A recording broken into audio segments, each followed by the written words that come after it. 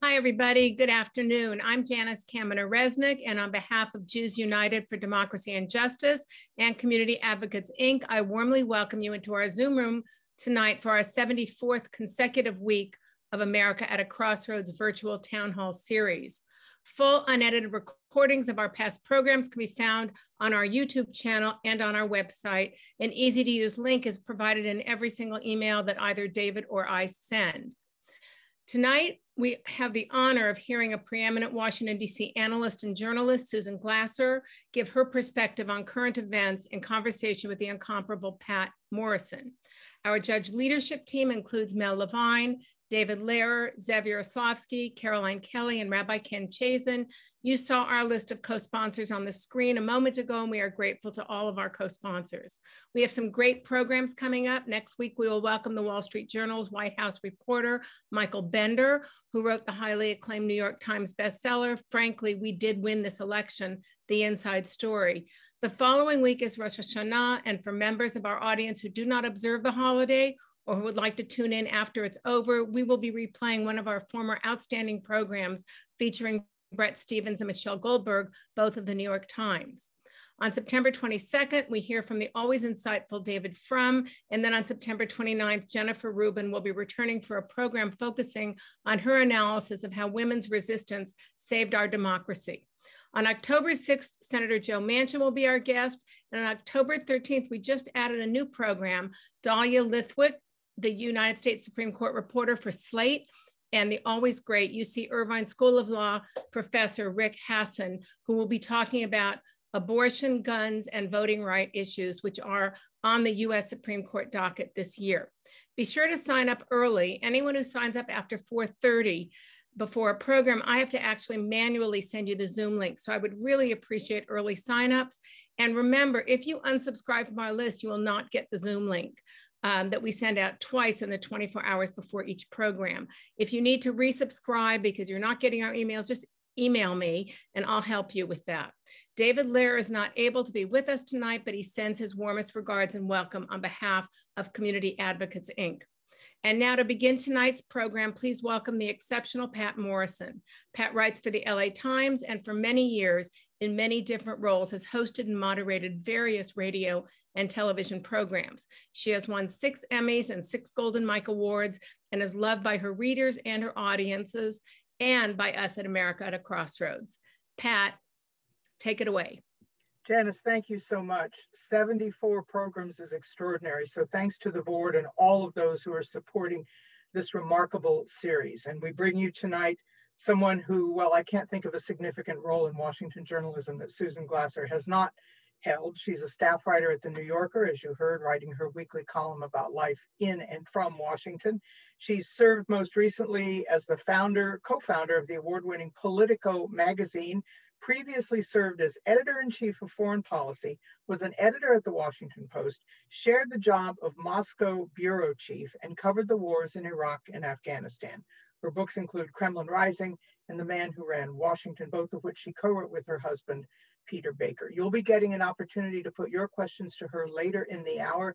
There's the Q&A box for that, and we hope you will do so as you listen to what she has to say. Susan, thank you so much for being here. Oh, thank you so much. It is really a great honor to be with you tonight, Patt and Janice. You know, you are an amazing force of nature. Thank you for having me back. I should note a historical footnote for this audience, which is to say that actually my husband Peter and I were supposed to be talking to this group on the night of January 6th of this year about our book. And needless to say, we had to cancel. And my guess is that all of you we're probably just watching the television with your jaws dropping, dropping open anyways. Uh, we did come back, I think, a couple weeks later to actually uh, have our time with this group. But I'm really honored to be back with you tonight and uh, hoping that something crazy doesn't happen while we're in the middle of this conversation. Well, we will we will take up the topic of January 6th and some of the reverberations that it has had and will certainly still have for months to come. But I think what's uppermost in a lot of people's minds right now is Afghanistan. And you covered that war, you've written about it. And it always seemed to me like Schrodinger's cat, that no matter whether we left 10 years ago or 10 years from now, things were always going to go badly. So there are many ways to assess it the military situation, the humanitarian situation, and the political strategizing situation. So maybe we can get a bite at each of those. Absolutely. I mean, look, it's been, uh, you know, just an overpowering story to watch in the last couple of weeks unfold. It was a, a, breathtakingly fast collapse of the Afghan army and the state that we spent 20 years uh, working with. And the human cost is the one that I've really been focused on uh, as well as you know what it means for the foreign policy of uh, Joe Biden. This is really his first foreign policy crisis. So you know you learn an awful lot in a crisis. They tend to clarify in Washington. Uh, forgive the interruption. That was my co-author Ellie uh, Glasser, who is uh, a very helpful co-author, but not always so helpful when you're appearing on Zoom we've uh, we've we've had appearances, unexpected surprise guests, we shall say, before, and this will not be the last time, I'm sure. So please go ahead. Can you? you oh no, no, I'm good. Yeah, yeah, yeah. I'm good. Okay. so, so the collapse was quick. Was the intelligence inadequate? Uh, your the headline on your piece was Biden finally got to say no to the generals. He's been arguing for this for a very long time, and yet it still seems to have been kind of put together on the fly to a lot of people. Well, that's exactly right. It's a, it's it's a classic example. You can be too deterministic about it, I think, and some of the commentary in recent days has been, uh, I, I think, you know, almost a, a, sense of hopelessness. Like, you know, in the in it's sort of the way that back in the 1990s, right? People sort of would say, well, they've been fighting with each other for centuries in the Balkans, you know, well, that still means there's still individual agency when it comes to destroying Sarajevo, a modern city that had very little to do with what happened in the 1400s. And I think we're seeing a little bit of that today. Afghanistan is, it's definitely true, is, is a, a war-plagued country uh, that we have very little culturally in common with, that we, you know, managed to screw up uh, our own understanding of it over and over and over again. But it's also true that, um, you know, Joe Biden uh, made a decision in April of this year. And I think people seem to be really eager to, to relitigate the policy question of whether the US should keep its troops in Afghanistan after so long. Uh, and to me, that is a very different debate uh, than the question of what happened since April.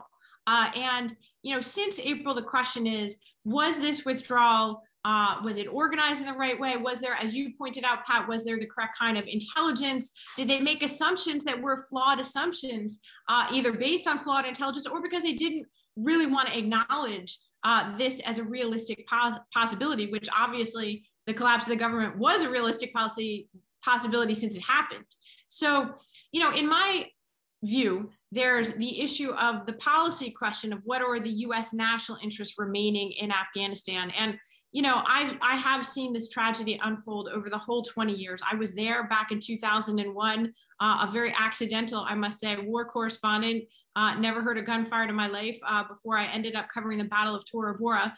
But you know, George W. Bush, Barack Obama, definitely Donald Trump. Uh, they're all authors in many ways of uh, you know the American engagement and the American failures in Afghanistan.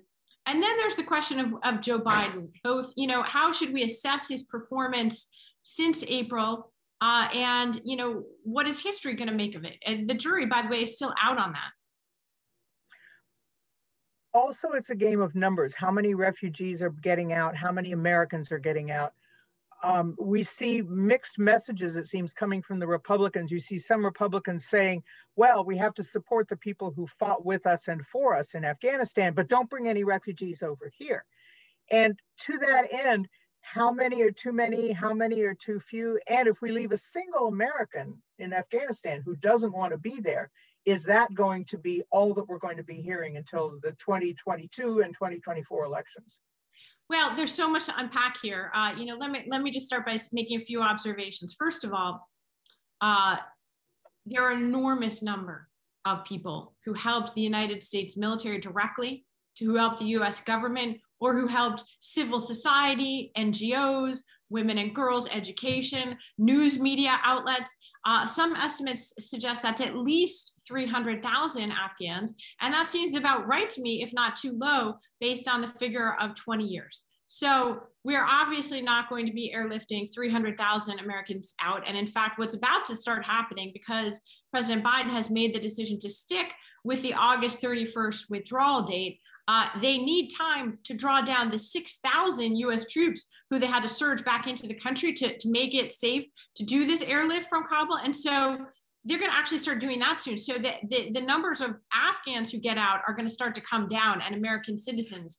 Uh, really, there's only a day or two more for people to get out. So this is ending. It's a remarkable accomplishment because they were not prepared fully and they were caught flat footed. So, on the one hand, you can look at this and you can say, wow, you know, 70,000 people have been gotten out of the country. That's incredible. The US military is, is probably the only military in the world that could do something like this. They have incredible capacity. Uh, the flip side is our civilian institutions, the State Department, the Department of Homeland Security. It's not clear what's going to happen to these people, in part because of what you mentioned, Patt, which is the question of how are we going to accept these people? The last few years, the Trump administration essentially gutted uh, the uh, refugee policy in this country, gutted the political asylum uh, policy. They basically took that number down to zero. Uh, one of the reasons the Biden administration says they weren't prepared fully to uh, even process the special immigrant visa application holders uh, or app- applicants from Afghanistan before this emergency is because they say there was a backlog of 19,000 applicants that the Trump administration had just been sitting on in the last year of its tenure. So any disaster, right? It's a confluence of so many different things. But you know, I, I, I will tell this audience uh, tonight something I haven't talked about yet personally, but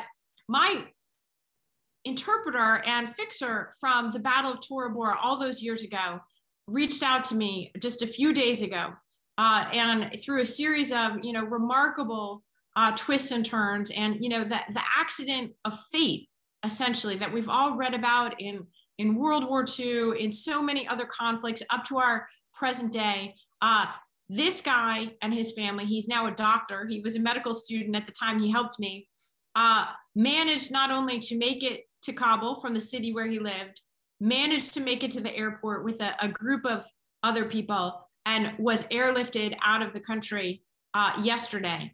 Mm. This is a miracle. I tell you this story because it's an exception, not the rule. The, the numbers game is is really not on our side. And, and again, I know it's a remarkable logistical accomplishment. Uh, I've talked with people who are doing it. it. It's really, really impressive to me. But um, the bottom line is it's it's not necessarily something uh, that we will look back on as this great success. And I was really surprised actually to hear the White House press secretary from the podium uh, yesterday saying, well, of course, this is this huge success. I mean, a, a, little moment to step back and to say, you know, the, the incredible tragedy that's unfolding here, it has many authors, uh, but I wish our politics weren't so poisonous that we couldn't acknowledge that no, not all of the Afghans whose lives are at risk because they helped America, we are not going to be getting them out. It's just not going to happen. You know, Winston Churchill was able to turn Dunkirk into a moral victory. Is there any chance that Biden, anticipating just this kind of attack that you talk about, can do the same? Well, you know, look, Winston Churchill, uh, uh, first of all, you know, was appointed prime minister, I believe, like a week before uh, Dunkirk happened. And, you know, he was very immersed in the ways of war. And he said something very wise that I think we would be well to remember, which is to say, uh, an evacuation, no matter how successful, is not a synonym for victory. Uh, and, and that's something else. And, uh, you know, I think that, again, it's never too late to do the right thing. It's never too late. And I think that the Biden administration has shown us that because they were caught flat footed. They were clearly distressed uh, and upset at what the collapse of the government that they had mistakenly thought would hold out longer. They didn't spend, you know, their time sitting around crying about it. They've organized this evacuation. It's remarkable what they have done, uh, but they're not going to be judged just on the basis of how many they got out, but on how many left behind, on some unknowns like what is the counterterrorism risk that we now face as a result of deciding to withdraw the American presence. Those are all things that we don't know the answer to yet. In April, President Biden said that uh, he believed the terrorism threat was significantly reduced from the physical territory of Afghanistan itself, and that he was going to withdraw from Afghanistan, but he was going to have a new policy of negotiating bases in the region so that we could be uh, you know ready at a minute's notice to deal with any threat from al-qaeda or isis that might emerge well now the national security advisor says actually the threat from isis and al-qaeda have grown very significantly in the last few days and so again we just don't know the answer um, but looking to 9-11 in just a couple weeks and the 20th anniversary I, I just how is it going to feel to us to see the taliban flag flying over uh, the U.S. Embassy. Uh, let's talk then now about COVID and the rise of infections and death, principally in parts of the country that we could call the Old South, I guess. And Donald Trump, when he advised a crowd at a rally in Alabama to get vaccinated, he was booed. Donald Trump. And you've written about the grim new math of the coronavirus for Red America, why the GOP is now finally coming around to recommend the vaccines and what maybe what cynicism, what sense of reality is uh, coming front and center in the Republican leadership's vision that this is happening and whether it's going to be a success. You know, there's so much to unpack there. It's it's so hard, right, that we're having this conversation so long into the pandemic at a time when, unlike at the beginning, uh, you know, there is uh, a solution and a prevention to these deaths. And for for many people, it's it's it's politics and partisan loyalty alone that has caused them from doing something that would have saved their own lives and the lives of other people. It, it's just, it's an almost an unimaginable tragedy, except of course it is imaginable. And by the way, I do think that's the connection between the conversation we're just having about Afghanistan and the conversation now about the pandemic and the, the internal crisis in the United States. I, I do believe that the biggest national security threat right now to the United States is, is here inside our own borders, uh, you know, and the, the geopolitical instability is also the question of what kind of uh, America we're going to be as, as the world's largest power, but also struggling so much. And,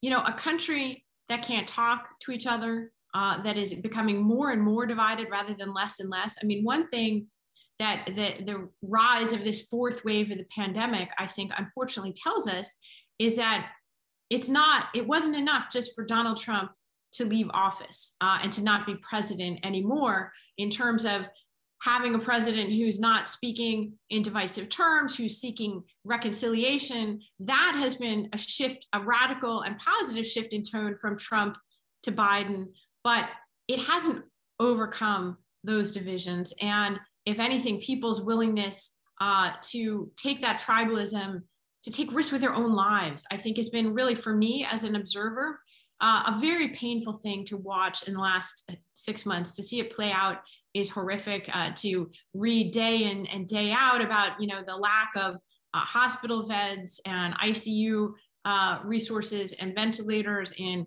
you know, Arkansas and Alabama and Mississippi, you know, places where the vaccination rate is 36%, I think right now. Uh, you know, we're not only a rich country, we have enough vaccine for every single person in the country. The rest of the world is begging and clamoring for the vaccines that half of our country is turning up their noses at.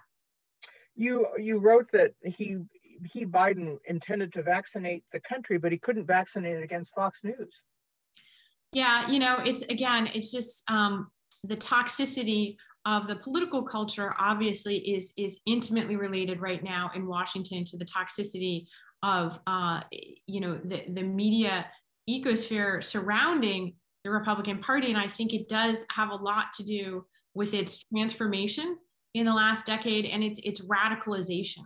Uh, and it has um, been really interesting to watch just this week, right? We got really good news, it seems to me, with the uh, decision by the FDA to grant not just emergency youth use authorization for the Pfizer vaccine, but to say, you know, this is just overall approval. That will now trigger, hopefully, a, a new round of vaccine mandates and companies and state and local governments and schools requiring it. And yet, you know, if you watch the Fox News commentary, what did you see? You saw, uh, on the one hand, okay, well, why did they, uh, you know, uh, take so long to do this? Then, as soon as it was approved, they said, well, wait a minute uh, you know, this is really a rushed approval process. I mean, how can we trust it? And you know, if, if, if your business model is to rely on convincing people that untrue things are true and that they shouldn't do things uh, to protect themselves. I mean, this is the same channel that's been peddling, you know, medical misinformation throughout the pandemic. That hydroxychloroquine, uh, you know, that was a, a made for uh, Fox TV special, uh, courtesy of Sean Hannity and friends. And of course, at the same time, as we've been reading, Fox is requiring its own employees to mask up and in some cases get vaccinated. Look, I mean, you know, hypocrisy uh, has always been in abundance, uh, you know, in our political culture or any other. Uh, it's just that in this super saturated media world, I think we're exposed to it at, at levels that, uh, you know, almost blow the mind. Uh, and that seems to be, you know, a new strategy in politics compared with when I first started you know, covering Washington and writing about it. It's not that politicians were uh, any more pure or uh, less hypocritical uh, back in the day, but uh, we were not as overwhelmed with so much information. So we had time to chew over their misdeeds a little bit more, it seems to me, than we do now. What are the consequences if the Republicans start telling their base to get vaccinated and the base says no? Is this a crack? Is it a breach? Is it going to cost the Republicans anything? Yeah, that's really interesting. I mean, I'm sure you noticed the other night that Trump uh, had a rally, uh, one of his few public appearances actually since he left the White House. And he was booed by some people in the audience when he pointed out that he himself had taken the vaccine and, um, you know, said that they should do so as well. Uh, you know, and he's afraid of having the base turn against him, which is a lot of the reason why he never made a public service announcement uh, in the months when it would have mattered and perhaps prevented this fourth wave. He never put any of his prestige and credibility on the line, it seems to me, to sell this vaccine for exactly that reason. He's so addicted to the applause and cheers of his crowd that he's very, very reluctant to do anything. And I think that helps to explain not just Trump, but a lot of the Republican politicians who know damn well that this is killing people and have not spoken out because they're afraid to use one ounce of their own credibility uh, in the other direction. Now, whatever you think of Mitch McConnell, my guess is this crowd doesn't think very much of Mitch McConnell. He is one of the people um, who, from the very beginning, was very adamant about uh, the vaccine uh, and was willing to, in fact, used uh, I think a few million dollars from his campaign fund in, in the last couple months to even air advertisements in his home state of Kentucky, which is a state with unfortunately a very terrible and low rate of uh, vaccines uh, to push it. So, you know, I, I don't want to paint an overly broad brush. Uh, there is a subset of this country and of the Trump base that has been hyper activated around this vaccine issue. It's not all Republicans. In fact, I believe a majority of Republicans uh, have received a vaccine according to the most recent polls. It's just way, way lower uh, than those who have hmm. any other political affiliation in the country. Um, there's of course, the whole process of the um, rebuilding package, the infrastructure package is going through. There's talk about reconciliation. There was debate over the summer about the filibuster. So before you get into the weeds on the mechanics, we remember that Mitch McConnell famously said that his goal as the head of the Senate was to see that Barack Obama was a one-term president. So as you talked about in what you had written, there's the Biden border crisis, the crime crisis, the inflation crisis, all being put at Biden's feet. Can you size up the state of work on Capitol Hill vis-a-vis itself and the president? And please forgive me one minute while I pop out this pesky contact lens. So please go ahead, Susan. Thank you so much. Listen, I would say that uh, you know it's not pretty to watch Congress uh, trying to do its job, especially because it really hasn't done its job in recent years very well. And, you know, I started out as a young reporter on Capitol Hill when I graduated from college. I'm embarrassed to say how long ago, uh, but, you know, let's just say that the 1990s, uh, you know, uh, were certainly a partisan period, but they did a lot more business in Congress. And there was much more of uh, an equilibrium and a balance of power uh, between the two branches of government, the, the Congress and the executive than there is uh, now. You know, people might not realize this, but Congress, its most fundamental responsibility is to pass 12 annual appropriations bills. Hasn't done it a single time, I think, since, uh, you know, maybe once in the Obama presidency, but basically since the George W. Bush presidency. I mean, it, it's broken down essentially. And uh, Mitch McConnell is basically been really, really good as a majority leader and a minority leader in the Senate at doing one thing, which is stopping legislation as opposed to passing legislation. And so, you know, that's the context, I think, uh, for Ken Biden, who is a creature of the US Senate, who basically spent, I think it's 34 years in the Senate, his entire adult working life, essentially, before he became vice president with Obama. Uh, he comes from a world where they used to pass bills and make deals. And I think he's recognizing it's a long shot. There, this is very interesting to watch this bipartisan infrastructure bill pass the Senate and make its way into the House. And the politics of that for Democrats who, you know, essentially have this much bigger, more sweeping agenda that they now look to pass with purely Democratic votes only. But yet there's still going to be this bipartisan bill. Why would Mitch McConnell vote for that? That's such an interesting question.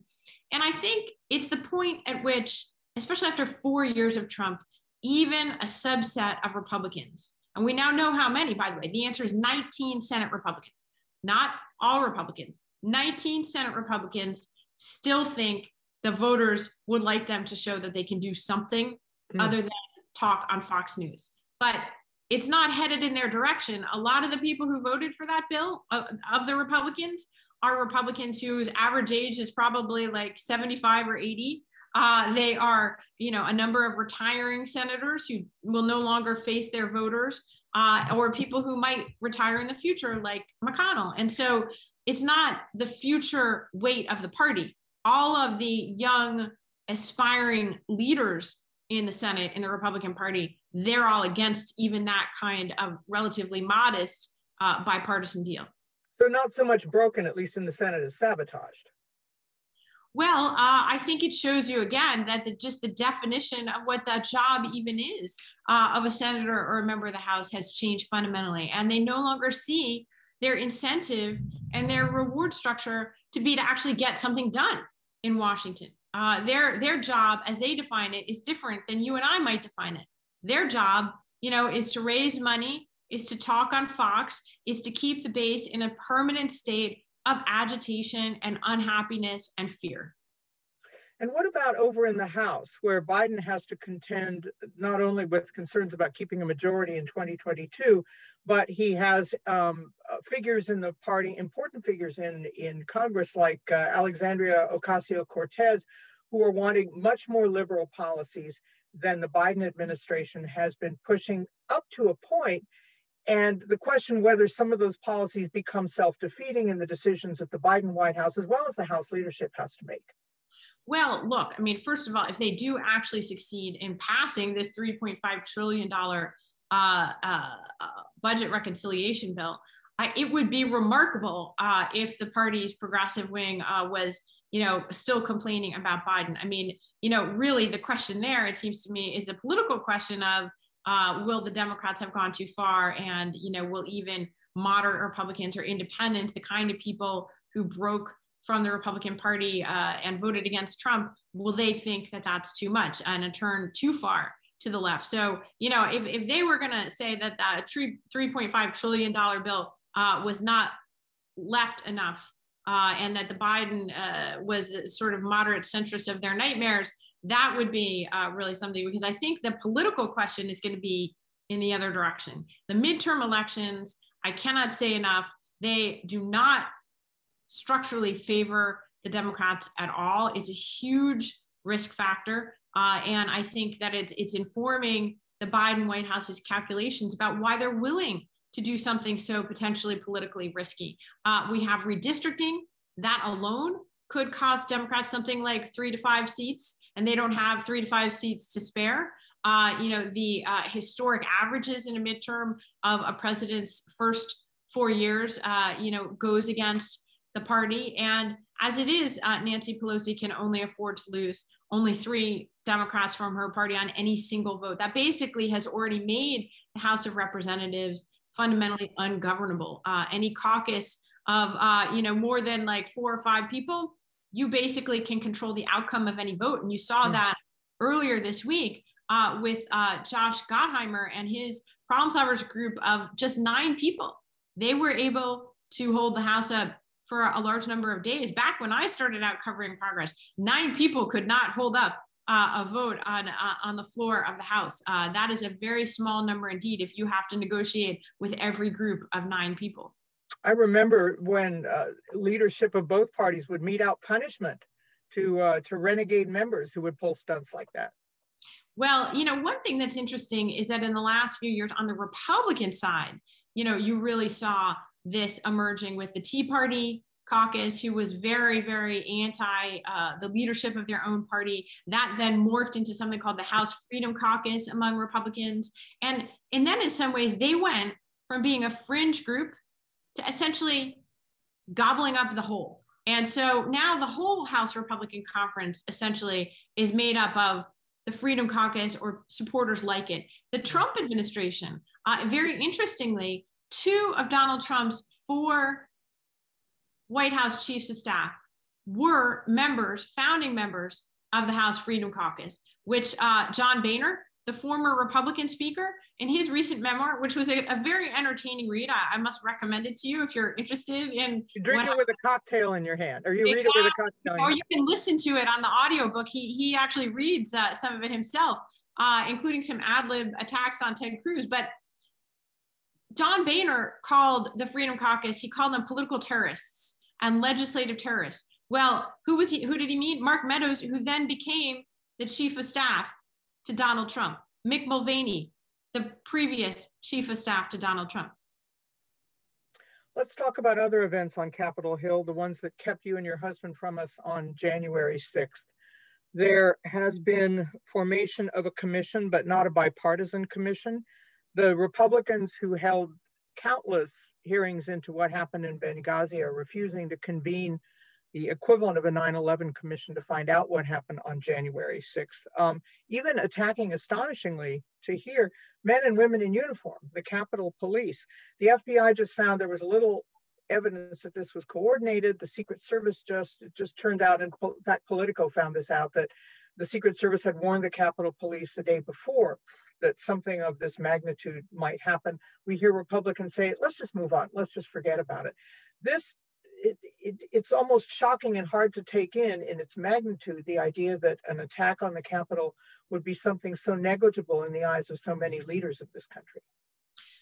Yeah, yeah, it is. I mean, you you summed it up pretty well. Um, that I think has informed all my thinking uh, about the politics of this moment. And I think that in some ways, it's a reality that's so disturbing uh, th- that we've somehow gotten used to. Um, every time I try to understand something that seems almost incomprehensible in politics today, I take a breath actually, and I remember 140 Republican members of Congress voted against certifying the election results and against the legitimacy of Biden's victory as president hours after the January 6th attack on their own Capitol.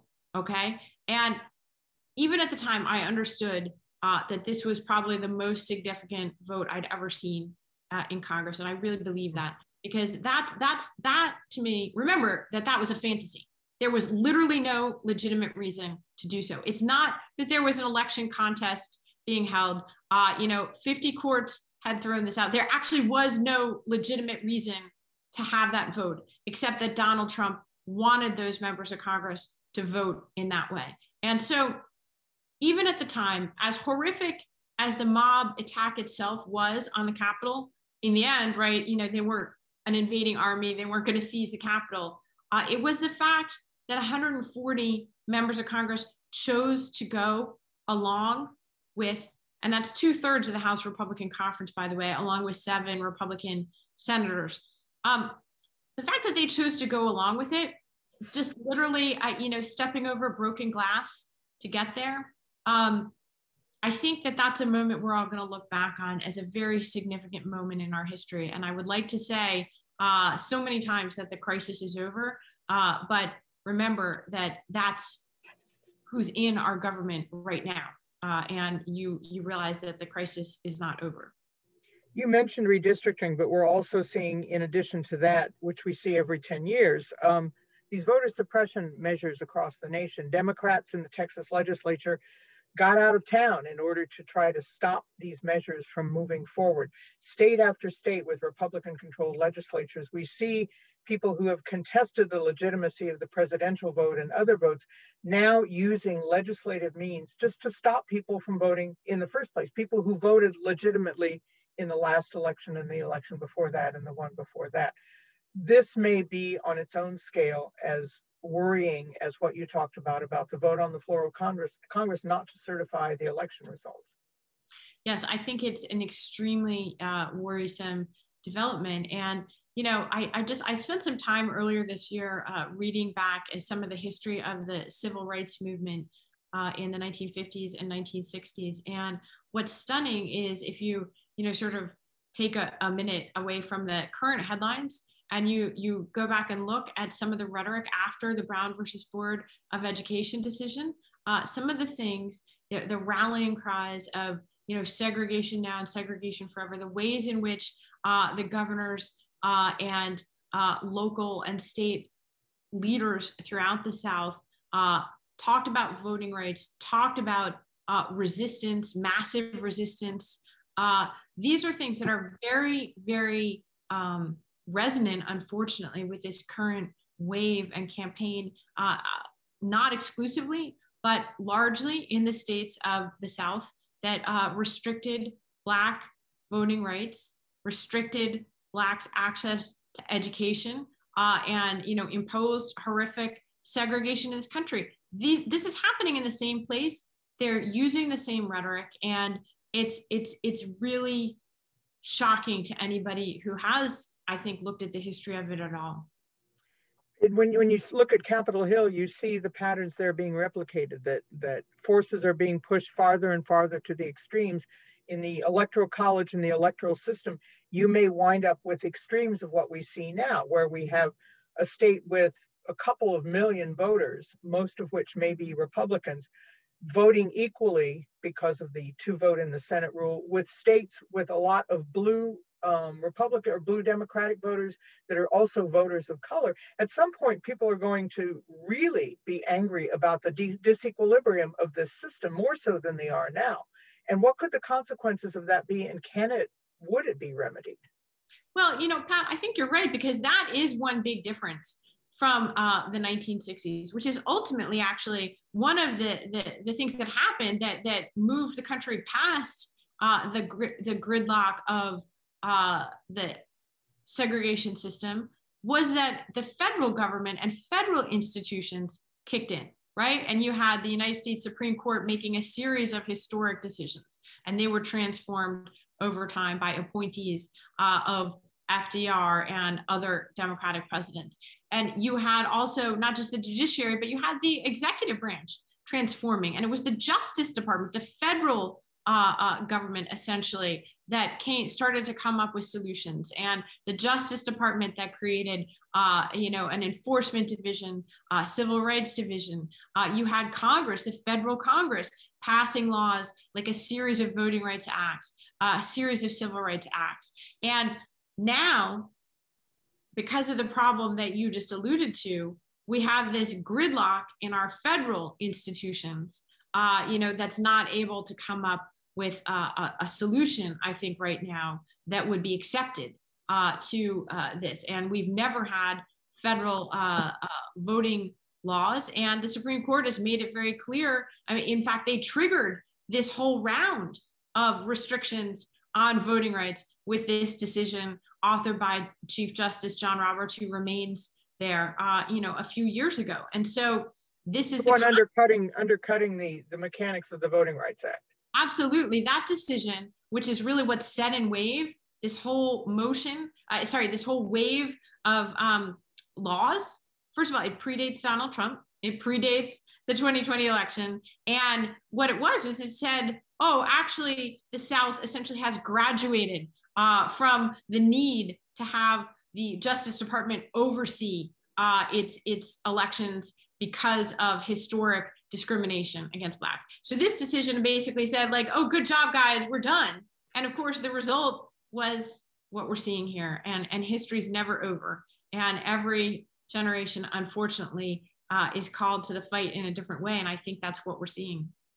I want to get to some of the questions people are putting in. I'll put one last question to you though. And we, we see from the tone of the Trump campaign, I alone can fix it. And now we see with Biden in the White House, he would like to be a kind of FDR, a kind of massive change agent, because it seems like half measures aren't going to do much of anything in this country anymore. And so his reach is big and it's wide. But what is your sense of what you call the persuadability? when it comes down to the practicalities, you're getting new bridges, you're getting new schools, you're getting new hospitals, you're getting broadband internet.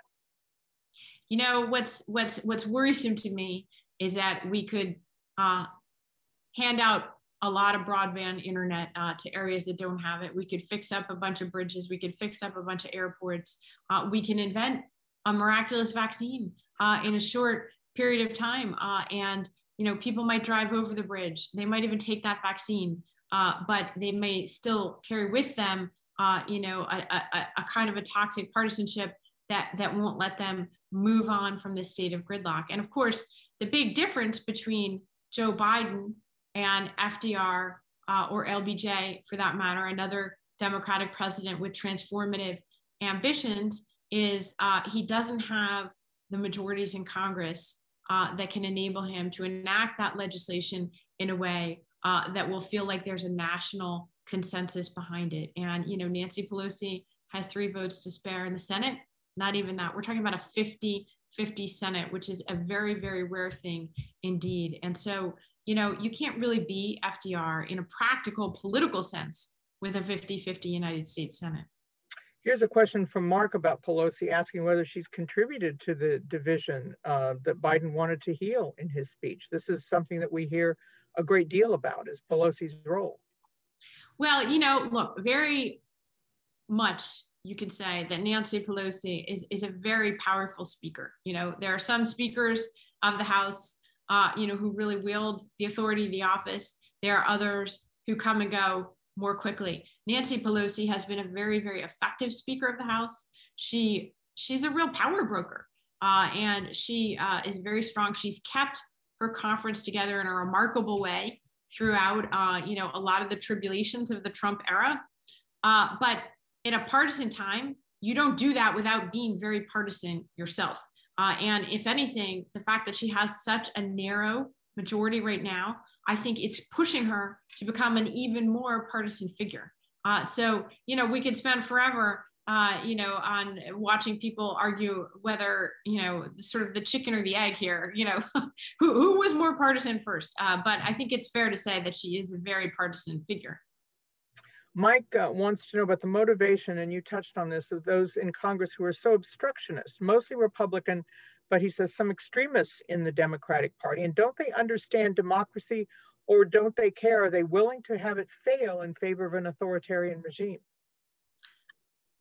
well let's not hope the choice you know comes so directly to that and, and i think part of the problem and part of the way we've slid into this crisis of democracy it seems to me is because it's rare that you just get a moment.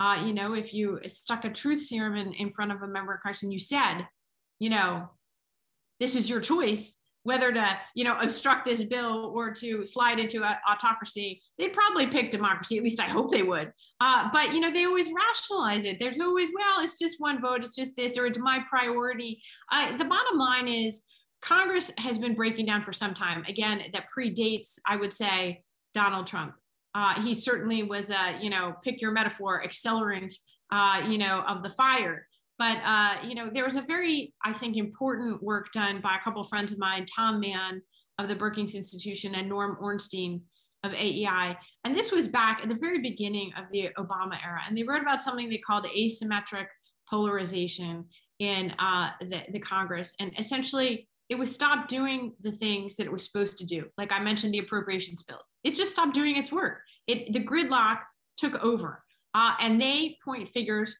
pretty clearly at the Republican Party. I think part of that is ideological. Why?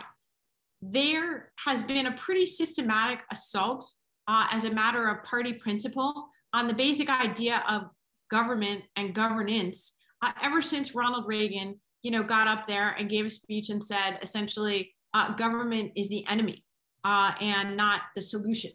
And from perhaps being a corrective in some ways to you know some of the problems uh, that that did exist in the executive branch, it's become an ideology in and of itself. Uh, and, and the means to the end has been destroying government uh, and getting rid of regulations. Uh, and you know that's a negative agenda in some ways, and I think that that has become a cohesive uh, worldview uh, for many of the Republicans who enter politics, who enter elective office, and that makes them a very, very different cohort and one much less likely to come up with deals or to want to agree on legislation because they see their mission in radically different terms than Democrats who tend to come. It's it's you know a classic Big Ten. Uh, there's different issues, there's different coalitions, but basically it's a lot of people who do believe in government and who see themselves as problem solvers or wanting uh, to you know make government work in some way. And I, those have become more and more at odds with each other in the in the Washington that I live in. Uh, Mark in Short Hills, New Jersey wants to know how the public will regard the governor of Florida, the governor of Texas for their policies about the pandemic. Just today, the governor of Texas said, we will not have any uh, vaccine mandates. Yeah, I know. I was reading that executive order and it's really, forgive me, I have something in my eye. It's really striking to see um, Governor Abbott, you know, literally waiving Texas's public health laws uh, by executive decree to make sure that nobody mandates the use of a vaccine that has been approved by the federal Food and Drug Administration. It's, it's really a remarkable moment where politics has come to the point that you have elected officials overruling doctors and public health officials on something uh, when in the middle of a huge spike in cases where their hospitals are overrun. DeSantis and Abbott have made a very calculated political bet. And that's what's kind of amazing to me is that they actually think this is going to benefit them, uh, even if it kills off a whole bunch of their constituents. Um, if that's not the height of cynicism, you know, I don't know what is. Um, there's a question from Lauren that I'll kind of paraphrase regarding the Afghan evacuation, which you referred to as a remarkable accomplishment. But what about the rest of the world's regard for Biden and his foreign policy team and how that's going to be tested? We remember how badly Donald uh, Trump was regarded by our allies and with, uh, with suspicion by much of the rest of the world. And the Biden administration was something of a relief. How is that playing now? And will the fate of Afghanistan really? Be the tiller on the Biden administration's foreign policy and how it's perceived? You know, I, am glad that you asked that question actually, because it, it's it really it has been a revealing crisis in the sense of Biden and the allies, and you know they really have pushed back uh, and felt very bruised by this. Uh, you know they they have been there have been enormous public complaints uh, in some of our closest allies, the people who were the most relieved to have Joe Biden as president and not Donald Trump. Uh, you know, in Germany, in the UK, uh, you know, they they practically wept, uh, you know, and cheered on inauguration day, January 20th, uh, at the changeover. Biden played to them. He said, not only is America back in the world, but particularly, you know, I'm going to be the kind of president who tends to our alliances. Back in April, when he made the decision to withdraw the troops and announced it there were many bruised feelings in in in those capitals uh, and a sense that Biden had not done what he promised to do just a month, you know, a couple months before, that Biden had not consulted with him, them, that it was really policy by diktat once again, an American unilateralism, although soldiers uh, and, you know, other personnel from those countries had fought alongside the Americans for the whole 20 years. It's the only time, in fact, in NATO's entire history when Article 5, that's the famous self defense, all for one, one for all uh, uh, part of the NATO treaty, the only time it was ever invoked was to go with the United States into Afghanistan after 9 11. And so to not consult uh, really, but more to inform the allies that this decision had been made, that was already a bruised feeling. And then when the government collapsed so quickly, uh, you know, these allies in the last few days, they've been pleading with more time. They had a meeting just yesterday with Biden, an emergency session of the G7. The leaders asked Biden at that meeting for more time for the evacuation and that, you know, pointed out that that August 31st deadline was just an an arbitrary deadline that Biden himself had set. So why couldn't he, you know, extend it? Uh, and he refused. So it is, I think, an early and bad signal to send to the allies. Um, you know, I would say that, you know, it's they don't have anywhere else to go, uh, and they're probably overall still going to be happier with Biden's foreign policy than that of Donald Trump's. But uh, I think that they're under no illusion that America is is the partner that they want it to be at this point. Here's a specific question in a larger setting. The specific question is, do you think that uh, $3.5 trillion reconciliation bill will be passed? But then apropos of that, Stan wants to know, with that sense of urgency, with 2022 ahead, why can't Democrats just go ahead and pass the infrastructure bill in the House now before the bigger uh, bill negotiations fall apart? He says Biden needs this win right now. Well, I think there's a lot of people who agree uh, with the assumption embedded in that. However, Nancy Pelosi is not one of those people. Uh, and, you know, to keep her conference together, I think Patt's question was right on the mark from earlier in our conversation. Um, those progressives in the House, who really are a very large block at this point of the House Democratic Caucus, they're not going for the bipartisan infrastructure bill without the bigger $3.5 trillion package. And so Pelosi essentially has no choice. Uh, she has to uh, say that those two bills are linked. There's no way for her to cut loose that infrastructure bill. Things will maybe then get a little bit more interesting in the Senate, uh, where they just uh, they might not have the votes. It's not clear, uh, you know, that they can get Joe Manchin, who's going to be, I guess, a guest uh, in this uh, in this excellent conversation series in a few weeks. Uh, it's not clear that they can get Joe Manchin and Kyrsten Sinema to go along with that massive $3.5 trillion package. And so in that case, we may well come right back to the question of can't they just pass the infrastructure bill, bill alone? Barbara asks, and I'll put this in a bigger context for you too, about the Supreme Court ruling on the Trump policy, keeping asylum seekers in Mexico until their case is heard, which could be many years, and they're already living in squatters camps along the border. But this is a larger part of the Trump legacy, like sticky traps. How much of the Biden administration's wish to move forward is going to be stuck with some of these Trump policies and Trump administrative decisions that may go to the Supreme Court?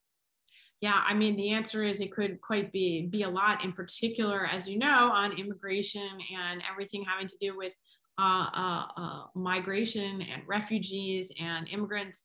Uh, this was a huge focus, and the border. Uh, this was a huge focus of the Trump administration, and they were looking uh, essentially to put sand in the machinery and to make it as hard as possible to undo uh, what they had done. And you know, given how long it takes legislation to wake its way through our system, uh, if there's just one four-year term of the Biden administration, it may well outlast Biden, uh, some of this Trump legacy in this area. In other areas, by the way, Biden has chosen to leave in place uh, some aspects of Trump's policy. For example, uh, Trump's extreme uh, uh, economic nationalism and his his fondness for tariffs, uh, which which before Trump had been widely rejected by economists in both parties uh, and not seen as a viable tool at all of economic statecraft. Amazingly enough, you know, we're already in August of Biden's first year. He has not gotten rid of Trump's tariffs. I think that's really notable. Uh, he did not rejoin the Trans Pacific Partnership, the trade deal that the Obama Biden administration had negotiated as a key part of our strategy to counter China in the region. Uh, you know, and so there's a sense that I don't know, you know, that the politics have moved in some way that's led him to keep some of those Trump economic policies in place, at least for now. Uh, there are some foreign policy issues as well, where he has kept some of uh, Trump's policies in place, even though he wouldn't have done them himself. This is a frequent question that we get, and maybe you've got a quick answer for it before we give you the big wrap up. And it's Jerry from LA wanting to know with all the investigations going on at so many levels, is Trump ever going to be tried and or convicted of anything? And he includes state investigations, which seem to be going apace. Well, uh, you know, I would say after the last few years, if it's taught us anything, it's, uh, you know, don't bet on there being one transformative, like, you know, sweeping moment when Donald Trump, you know, faces, uh, you know, his past uh, and can't escape it. Um, you know, I know that there's been, I think I wrote a column about the, the persistent fantasy of uh, that moment. And, you know, this idea that someday, somehow, we're going to see Donald Trump in an orange jumpsuit, you know, and handcuffs being taken away by men in, in you know, FBI jackets. Well, there, have been there's been a lot of photoshopping of that, which may be as close as it ever gets to it. Exactly. You know, it's like when when people say, as they did again this week, like don't you know, don't be don't bet against Nancy Pelosi. Uh, you know, look, Donald Trump. I mean, the guy clearly has more than nine lives, right? Um, so you know, don't bet on the FBI taking him away in an orange jumpsuit.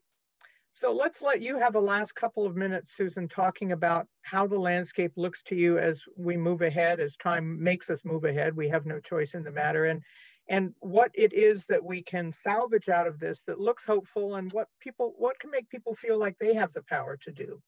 You know, I I, I gotta admit, Patt, this has been a fantastic conversation, but I've been sort of dreading this uh, uh, because I was given strict instructions that I was supposed to end on an upbeat note. uh oh okay, how can we do that? Look, I will say that actually, uh, you know, it, it's a little bit trite, but you know, every generation does have to make its own, uh, you know, uh, fight for whatever this their definition of this country is going to be. Uh, and I think that you know in the renewal of activism in the sense that you know certain things with pre- which previous generations just absolutely uh, you know uh, had come to accept even if they knew that it was unacceptable i feel like the changing of of boundaries and the renewal of activism and of a passionate new generation uh, uh of people in this country who are not going to just sit back and and and accept the unacceptable anymore uh, you know, whether it's Black Lives Matter, whether it is uh, uh, the Times Up, and you know, the the idea that um, you know women are not just gonna you know say, okay, well, there's nothing we can do uh, about these things in our workplace anymore. I mean, these are the signs of a kind of engagement, of civic re-engagement, of community that I think do give us hope at a moment when the democracy is in such crisis. We're going to need that activism uh, to make sure that it survives. And then, you know, I just, I, on a, again, to take it on a maybe overly personal note, it has been really remarkable uh, to me to see, you know, it's hidden, I know, to most Americans. that the war in Afghanistan, the, the entire 20 year disastrous global war on terror, you know, partially it existed because it was kind of hidden from the majority of Americans. Uh, but I just want to tell those of you who, you know, might not be aware of it, you know, seeing how much people who did have some engagement with Afghanistan, whether it was people in the military or people in the, you know, the US government here in Washington, the, the NGOs, uh, people, you know, who work to build the American University of Afghanistan, who I know, mm-hmm. journalists, most of the journalists I know at one point or another circled through, seeing them organize and feel responsible in a way has been a reminder that it's never too late to do the right thing. It's never too late to care. Let's hope we can bring that message home. Susan Glasser, thank you so much. Everyone will agree you were more than worth waiting for since we didn't get you on January 6th.